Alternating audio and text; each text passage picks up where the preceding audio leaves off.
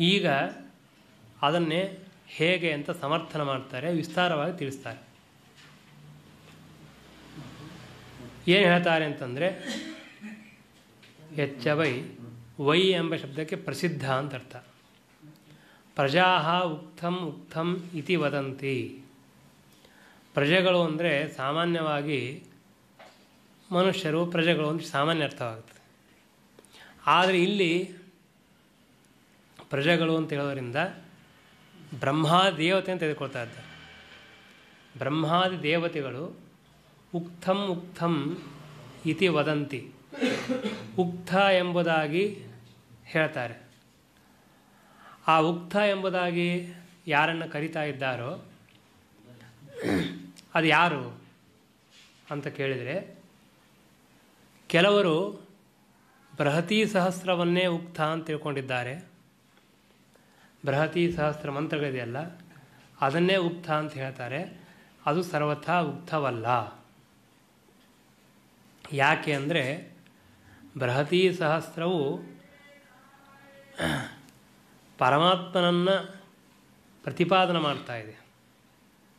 ಆದ್ದರಿಂದ ಅದನ್ನು ಉಕ್ತ ಅಂತ ಕರೆದರೂ ಕೂಡ ಉಕ್ತ ಅನ್ನೋ ಶಬ್ದದಿಂದ ಪ್ರಧಾನವಾಗಿ ಕರೆಯೋ ದೇವರನ್ನು. ಹೊರತಾಗಿ ಬೃಹತಿ ಸಹಸ್ರವನ್ನು ಅಲ್ಲ. ಯಾಕೆ? ಹಾಂ ಇದು ಉಕ್ತ. ಥ ಥ. ಉಕ್ತ. ಯಾಕೆ ಅಂತ ಕೇಳಿದ್ರೆ ಉಕ್ತ ಅಂದರೆ ಜಗದುತ್ಥಾಪಕತ್ವಾತ್. ಪರಮಾತ್ಮ ಯಾಕೆ ಉಕ್ತ? ಈ ಜಗತ್ತನ್ನೆಲ್ಲ ಸೃಷ್ಟಿ ಮಾಡ್ತಾನೆ. ಉತ್ಥಾಪನಾತ್ ಉತ್ಥನಾಮ ಬಂತಲ್ಲ? ಎಲ್ಲವನ್ನೂ ಮೇಲ್ ತರ್ತಾನೆ ಸೃಷ್ಟಿ ಮಾಡ್ತಾನೆ ಅದರಿಂದ ಪರಮಾತ್ಮನೇ ಉಕ್ತ ಅಂತ ಕರೆದಿತ್ತು. ಇದು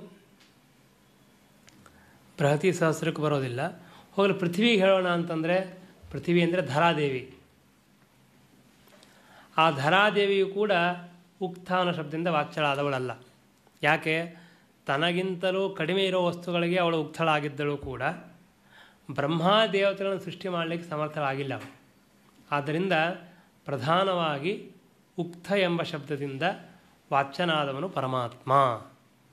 ಅದನ್ನು ಹೇಳ್ತಾರೆ? ಉಕ್ತಂ ಉಕ್ತಂ ಇತಿ ಪ್ರಜಾ ವದಂತಿ ತದಿದಮೇವ ಉಕ್ತಂ ಇಯಮೇವ ಪೃಥಿವಿ ಇದಮೇವ ಉಕ್ತಂ ಇದೇ ಉಕ್ತ ಅಂದರೆ, ಹಿಂದೆ ಹೇಳಿರುವಂತಹ ಯಾವ ಬ್ರಹ್ಮನಿದ್ದಾನೋ, ಗುಣಪೂರ್ಣನಾದ ವ್ಯಕ್ತಿ, ಅವನೇ ಉಕ್ತ ಎಂಬ ಶಬ್ದದಿಂದ ವಾಚ್ಯ. ಇಯಮೇವ ಪೃಥಿವಿ, ಆ ಬ್ರಹ್ಮನೇ ಪೃಥಿವಿ ಎಂಬ ಶಬ್ದದಿಂದ ವಾಚ್ಯ. ಪೃಥಿವಿ ಅಂದರೂ ಆ ಬ್ರಹ್ಮನೇ, ಉಕ್ತ ಅಂದರೆ ಬ್ರಹ್ಮನೇ. ಯಾಕೆ? ಇತೋ ಹಿ ಸರ್ವ ಇದಂ ಸರ್ವಂ ಉತ್ತಿಷ್ಠತಿ ಯದಿದಂ ಕಿಂಚ. ಈ ಜಗತ್ತಿನಲ್ಲಿ ಏನೇನು ಪದಾರ್ಥಗಳಿವೆಯೋ, ಆ ಎಲ್ಲ ಪದಾರ್ಥಗಳು ಆ ಪರಮಾತ್ಮನಿಂದ ಹುಟ್ಟಿ ಬರುತ್ತವೆ.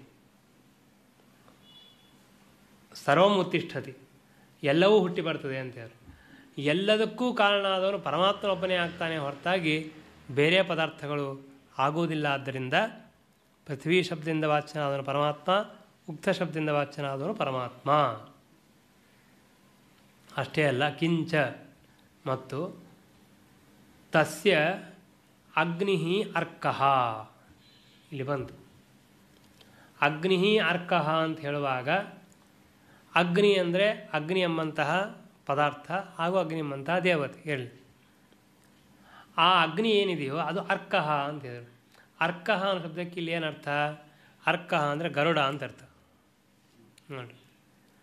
ಆ ಶ್ರೀಮದಾಚಾರ್ಯ ಹೇಳಿದ್ದಾರೆ, ಅರ್ಕಹ ಎಂಬ ಶಬ್ದ ಶಬ್ದಕ್ಕೆ ಗರುಡ ಅಂತ ಅರ್ಥ ವೇಗದಿಂದ ಹೋಗತಕ್ಕಂಥವನು ಗರುಡ.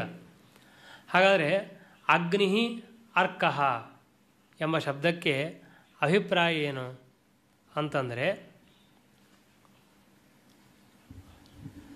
ಅಗ್ನಿ ಎಂಬಂತಹ ಯಾವ ದೇವತೆ ಇದ್ದಾನೋ ಅವನು ಅರ್ಕಹ ಅಂತಂದರೆ ಈ ಗರುಡನ ಅಧೀನನಾಗಿದ್ದಾನೆ ಅಂತ ಒಂದು ಹೇಳಬೇಕು.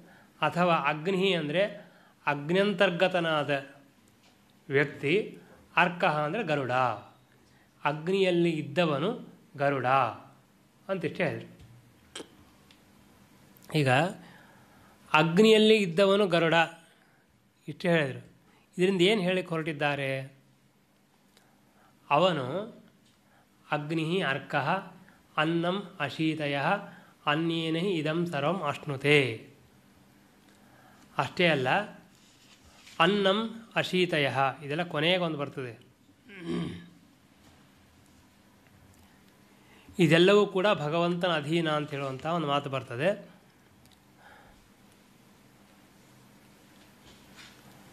ತಸ್ಯ ಇಯಂ.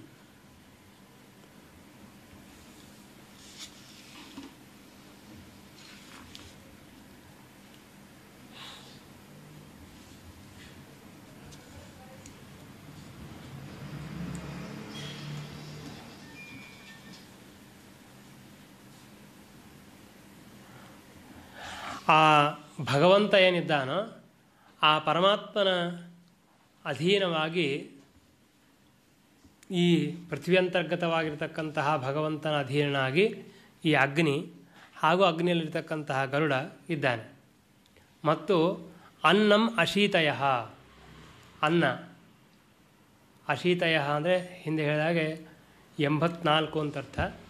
ಆ ಮೂರು ಮಂತ್ರಗಳು ಸೇರಿ ಹಾಗೆ ಬರುತ್ತೆ. ಅದು ಅನ್ನವಾಗಿದೆ. ಅನ್ನ ಅಂದರೆ ದೇವರಿಗೆ ಆಹಾರ ರೂಪದಲ್ಲಿ ಇರುವಂತಹದ್ದು.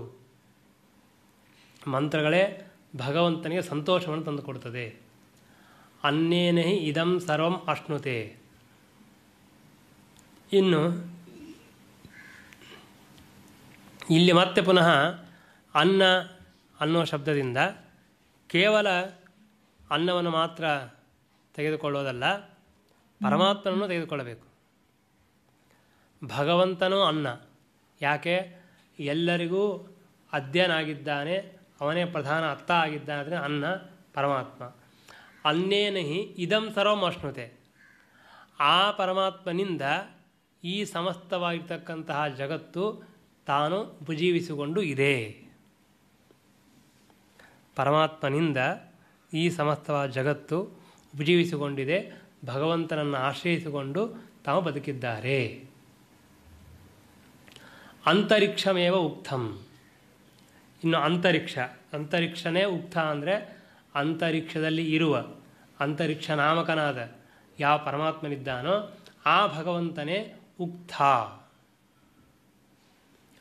ಅಂತರಿಕ್ಷಂ ವ ಅನುಪತಂತಿ, ಅಂತರಿಕ್ಷಂ ಅನುಧಾವಯಂತಿ. ಅದೇ ಆ ಅಂತರಿಕ್ಷದಲ್ಲಿರ್ತಕ್ಕಂತಹ ಪರಮಾತ್ಮ ಏನು ಮಾಡ್ತಾನೆ ಅಂತ ಕೇಳಿದ್ರೆ ಅವನನ್ನು ಅನುಸರಿಸಿಕೊಂಡು ಪತಂತಿ, ಪಕ್ಷಿಗಳೆಲ್ಲ ಓಡಾಡ್ತವೆ. ಅಂತರಿಕ್ಷಂ ಅನುಧಾವಯಂತಿ. ಆ ಅಲ್ಲಿರುವಂತಹ ಭಗವಂತನನ್ನು ಆಶ್ರಯಿಸಿಕೊಂಡೇ, ಅನುಸರಿಸಿಕೊಂಡೇ, ಕುದುರೆ ಮೊದಲಾಗಿರ್ತಕ್ಕಂತಹ ಪ್ರಾಣಿಗಳನ್ನು ಓಡಿಸುತ್ತಾರೆ, ಹೋಗ್ತಾರೆ, ಬರ್ತಾರೆ. ಎರಡು ಮಾತನ್ನು ಹೇಳಿದರು. ಇನ್ನು ತಸ್ಯ ವಾಯು ಅರ್ಕಃ. ಎರಡನೇದೇನು ಇಲ್ಲಿ ವಾಯು ಅರ್ಕಃ ಅಂತ ಶಬ್ದಕ್ಕೆ ಅರ್ಥ ಏನು ಅಂತಂದರೆ ವಾಯುವಿನಲ್ಲಿ ಇರುವ ಗರುಡ ಅಂತ ಅರ್ಥ. ವಾಯು ಅಂದರೆ ವಾಯು. ಅರ್ಕ ಎಂಬ ಶಬ್ದಕ್ಕೆ ಗರುಡ ಅಂತ ಅರ್ಥ.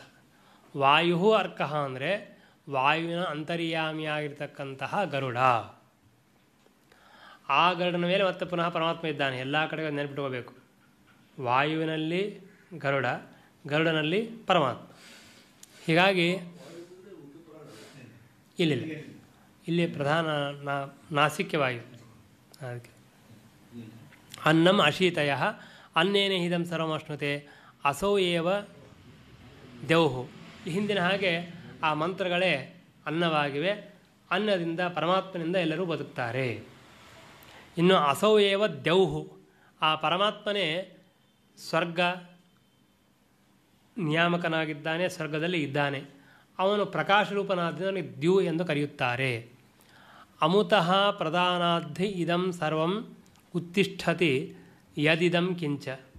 ಆ ಸ್ವರ್ಗದಲ್ಲಿರ್ತಕ್ಕಂತಹ ಪರಮಾತ್ಮ ತಾನು ಮಳೆಯನ್ನು ಸುರಿಸ್ತಾನೆ. ಆದ್ದರಿಂದ ಅಮುತಃ ಪ್ರಧಾನಾತ್ ಅಂದರೆ ಆ ದೇವರು ಏನು ಕೊಡ್ತಾನಲ್ಲ, ಅವನು ಸುರಿಸುವಂತಹ ಮಳೆಯಿಂದ, ಆ ಪದಾರ್ಥಗಳಿಂದ ಇದಂ ಸರ್ವಂ ಯತ್ಕಿಂಚ ಉತ್ತಿಷ್ಠತಿ. ಈ ಜಗತ್ತಿನ ಏನೇನು ಪದಾರ್ಥಗಳಿದೆಯೋ ಅದೆಲ್ಲವೂ ಬೆಳೆಯುತ್ತದೆ. ಅಂದರೆ ಪಶು, ಪಕ್ಷಿ, ಪ್ರಾಣಿ ಅಥವಾ ಗಿಡ ಮರಗಳು ಎಲ್ಲವೂ ಕೂಡ ಬೆಳೀತದೆ, ಅಭಿವೃದ್ಧವಾಗ್ತದೆ, ಚೆನ್ನಾಗಿರ್ತದೆ. ಯಾ, ಯಾಕೆ ಅಂತ ಕೇಳಿದ್ರೆ ಮಳೆ ಆದರೆ, ಮಳೆ ಇಲ್ಲ ಅಂದರೆ ಏನಿಲ್ಲ ಅಷ್ಟೇ. ಆದ್ದರಿಂದ ಅಮುತಃ ಪ್ರಧಾನ ದ್ವಿಲೋಕದಲ್ಲಿರೋ, ಇರುವಂತಹ ಭಗವಂತನ ವೃಷ್ಟಿಯನ್ನು ಕೊಡುವುದರಿಂದ, ಆ ಭಗವಂತ ಅನುಗ್ರಹದಿಂದ ಈ ಎಲ್ಲ ಜಗತ್ತಿನಲ್ಲಿರ್ತಕ್ಕಂತಹ ಪದಾರ್ಥಗಳು ಉತ್ತಿಷ್ಠತೆ ಮೇಲೆ ಬರ್ತವೆ. ಇನ್ನು, ತಸ್ಯ ಅಸೌ ಆದಿತ್ಯ ಅರ್ಕಃ. ಮೂರನೇದಾಗಿ, ಸೂರ್ಯ ಆ ಸೂರ್ಯನ ಅಂತರ್ಯಾಮಿಯಾಗಿ ಅರ್ಕ ಅಂದರೆ ಗರುಡ. ಅನ್ನಂ ಅಶೀತಯ, ಅನ್ಯೇನ ಇದಂ ಸರ್ವಮಷ್ಣತೆ ಇತಿ ಅಧಿದೈವತಂ. ಅನ್ನದಿಂದಲೇ ಎಲ್ಲರೂ ಬದುಕ್ತಾರೆ, ಅರ್ಥಾತ್ ಭಗವಂತನಿಂದ ಬದುಕ್ತಾರೆ. ಇದು ಅಧಿದೈವತ ಅಂದರೆ ದೇವತೆಗಳ ಅಂತರ್ಯಾಮಿಯಾಗಿ ಇರುವ ಭಗವಂತನ ರೂಪ. ದೇವತೆ ಯಾರು? ಅಗ್ನಿ, ವಾಯು, ಸೂರ್ಯ ಎಂಬಂತಹ ದೇವತೆ ಆ ಪದಾರ್ಥಗಳು ಹಾಗೂ ಅವುಗಳಲ್ಲಿ ದೇವತೆ, ಆ ದೇವತೆಗಳಲ್ಲಿ ಗರುಡ, ಆ ಗರುಡನ ಮೇಲೆ ಇರತಕ್ಕಂತಹ ಪರಮಾತ್ಮ. ಅಧಿದೈವತ. ಇನ್ನು ಅಧ್ಯಾತ್ಮಂ. ಹಿಂದೆ ಹೇಳಿದಾಗ ಅಧ್ಯಾತ್ಮಂ ಅಂದ್ರೇನು ಜೀವನಕ್ಕೆ ಸಂಬಂಧಪಟ್ಟಂತಹ ದೇಹ, ಆ ದೇಹದಲ್ಲಿ ಇರತಕ್ಕಂತಹ ಪರಮಾತ್ಮ. ಅದ್ಯಾರು? ಪುರುಷ ಏವ ಉಕ್ತಂ. ಮೊದಲಿಗೆ ಹೇಳಿದರು. ಪುರುಷ. ದೇಹದಲ್ಲಿ ಇರುವಂತಹ ಭಗವಂತ. ಪುರುಷ ನಾಮಕನಾದ ಪರಮಾತ್ಮ, ಅವನೇ ಉಕ್ತನಾಗಿದ್ದಾನೆ. ಅಯಮೇವ ಮಹಾನ್. ಆ ಭಗವಂತನೇ ಸರ್ವೋತ್ತಮನಾಗಿದ್ದಾನೆ. ಪ್ರಜಾಪತಿ ಎಲ್ಲ ಜೀವರಾಶಿಗಳ ನಿಯಾಮಕನಾಗಿದ್ದಾನೆ. ಅಹಂ ಉಕ್ತಂ ಅಸ್ಮೀತಿ ವಿದ್ಯಾತ್. ನಾನು ಇಡೀ ಜಗತ್ತನ್ನು ಸೃಷ್ಟಿ ಮಾಡ್ತೇನೆ, ಮೇಲೆ ತರುತ್ತೇನೆ ಎಂದು ತಿಳಿದವನಾಗಿದ್ದಾನೆ. ಪರಮಾತ್ಮ. ಇದು ಒಂದು ಹೇಳಿದರು. ಇನ್ನು, ತಸ್ಯ ಮುಖಮೇವ ಉಕ್ತಂ ಯಥಾ ಪೃಥಿವಿ. ಯಾವ ರೀತಿಯಾಗಿ ನಾವು ಹಿಂದೆ ಹೇಳಿದ್ವಿ, ಪೃಥಿವಿಯನ್ನು ಉಕ್ತ ಅಂತ ಕರೀತಾರೆ.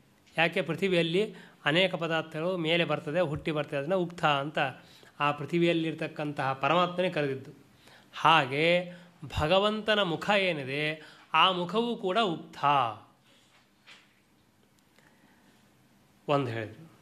ಎರಡನೇದ್ದು, ತಥಾ ತಸ್ಯ ವಾಕ್ ಅರ್ಕ ಅನ್ನಂ ಅಶೀತಯ ಅನ್ಯೇನ ಇದಂ ಸರ್ವಂ ಅಶ್ನುತೆ. ಅದರಂತೆ ವಾಕ್ ಅರ್ಕಃ. ವಾಕ್ ಅಂದರೆ ವಾಗೀಂದ್ರಿಯ ಅಥವಾ ವಾಗ್ ಶಕ್ತಿ ಏನಿದೆ ಅಲ್ಲಿ ಗೋಲಕ. ಅಲ್ಲಿರ್ತಕ್ಕಂತಹ ಗರುಡ, ಅರ್ಕ ಅಂದರೆ ಮತ್ತೆ ಗರುಡ. ಅನ್ನಂ ಅಶೀತಯ. ಅನ್ನ ಏನಿದೆ, ಆ ಮೂ ಮೂ, ಎರಡು ನೂರ ನಲವತ್ತು ಮಂತ್ರಗಳು, ಅದು ಅನ್ನದ ರೂಪದಲ್ಲಿದೆ. ಅನ್ನೇನಹಿದಂ ಸರ್ವಮಷ್ಣುತೆ. ಇನ್ನು ನಾಸಿಕೇವ ಉಕ್ತಂ. ಯಥಾ ಅಂತರಿಕ್ಷಂ ಎರಡನೇದ್ದು ಯಾವ ರೀತಿಯಾಗಿ ಅಂತರಿಕ್ಷ ಉಕ್ತವಾಗಿದೆಯೋ ಹಾಗೆ ನಾಸಿಕ, ಇದು ಕೂಡ ಉಕ್ತ ಅಂತ ಕರೆಸಲ್ಪಡುತ್ತದೆ ತಥಾ ತಸ್ಯ ಪ್ರಾಣ ಅರ್ಕಃ. ಅಲ್ಲಿ ವಾಯು, ಆ ವಾಯುವಿನ ಅಂತರ್ಯಾಮಿಯಾಗಿ ಅರ್ಕಃ ಅಂದರೆ ಗರುಡ. ಏನರ್ಥ ಹೇಳ್ತೀರಿ ನೀವು? ಶ್ರೀಮದಾಚಾರ್ಯ ವ್ಯಾಖ್ಯಾನ ಇಲ್ಲದೆ ಈ ಶಬ್ದಕ್ಕೆ ಹಿಂಗೆಲ್ಲ ಅರ್ಥ ಹೇಳಿಕ್ಕಾಗ್ತದ ಏನು ಗೊತ್ತಾಗೋದಿಲ್ಲ ಅಷ್ಟೇ. ಒಂದು ಅರ್ಥ ಹಂಗಿಲ್ಲ ಅರ್ಕ ಅಂದ್ರೆ ಸೂರ್ಯ